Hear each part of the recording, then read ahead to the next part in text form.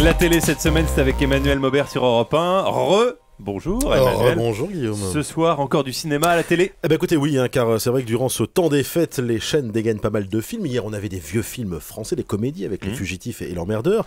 Eh bien, ce soir, direction Hollywood pour des grosses productions américaines, des blockbusters, comme on dit, avec à la fois sur TF1 et sur France 2 en vedette un certain Johnny Depp.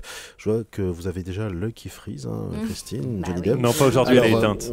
Alors sur TF1, tout d'abord, ce sera le premier volet du fameux Pirate des Caraïbes, avec son cortège de fantômes et de pirates, euh, Jack Sparrow, Johnny Depp en tête. Tirez-moi de cette cellule et sans nul doute je vous conduirai au Black Pearl et à votre jolie demoiselle. Tu es un pirate. Tu oublies un truc primordial, camarade. Tu n'as pas affaire à des pirates ordinaires. Certes, ils sont cruels, à demi fous et féroces, mais surtout, on ne peut pas les tuer. Ça, c'est sur TF1. Voilà, c'est sur TF1, premier film avec Johnny Depp.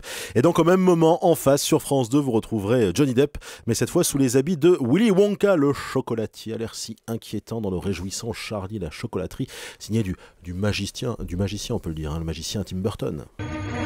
Chers citoyens du monde, moi, Willy Wonka, ai décidé de permettre à cinq enfants de visiter ma chocolaterie. Cinq tickets d'or ont été cachés dans le papier d'emballage de cinq tablettes ordinaires de chocolat Wonka.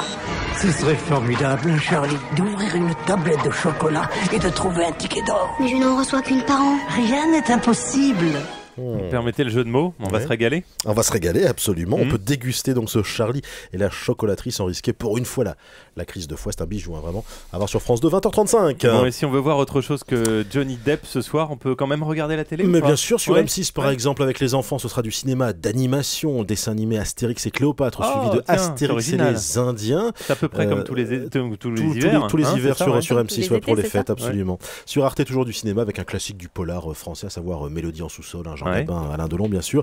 Enfin, vous pouvez également regarder France 3 avec le gala La vie en rire avec plein d'humoristes pour la bonne cause, à savoir trouver de l'argent pour la recherche sur les leucémistes à Mhm. partir de 20h35, sur la 3, donc animé par quelqu'un qu'on aime bien ici, euh, Jérôme oui. Commandeur. Beaucoup. Et puis un mot de cet après-midi?